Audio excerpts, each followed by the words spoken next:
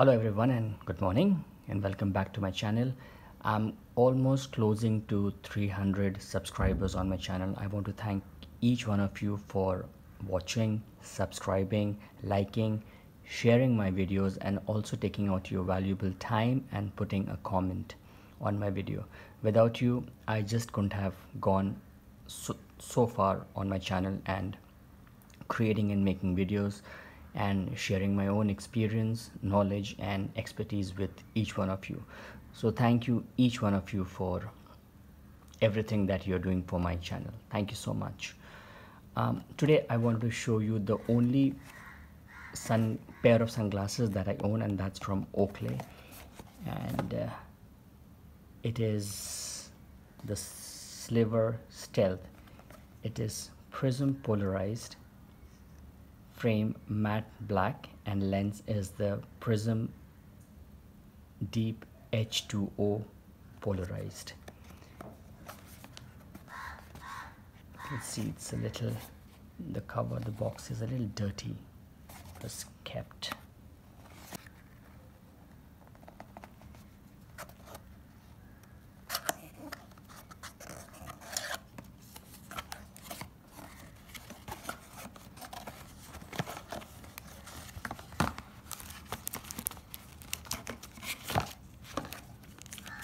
so this is what you get.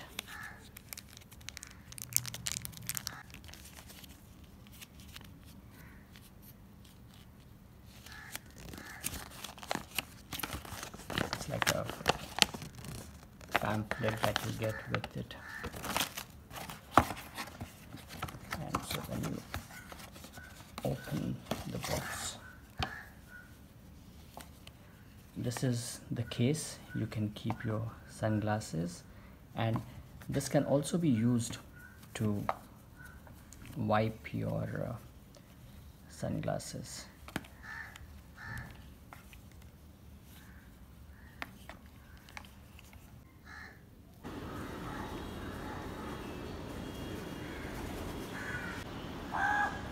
That's how probably you would see it in the outdoors. I still haven't tried them on sea because these are meant for deep water fishing. I still haven't tried them there though. You can see the color of the lens. It's a nice uh, shade of uh, blue.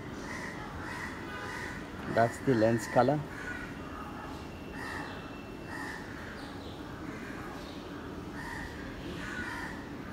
sunglasses are USA assembled.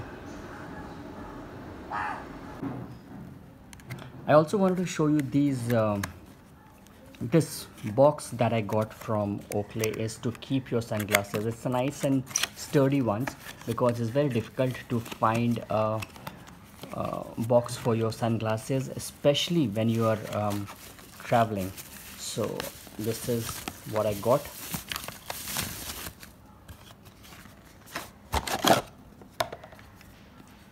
this is the Oakley sunglasses box.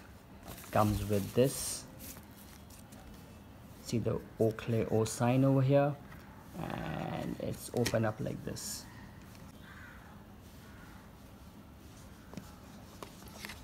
And this is how your sunglasses goes inside this case.